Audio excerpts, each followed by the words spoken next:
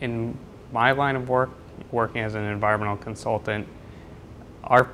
our intent here is to be protective of human health and the environment. So dealing with soil and groundwater contaminants, uh, what levels of different, what concentrations of different compounds can be hazardous to human health. And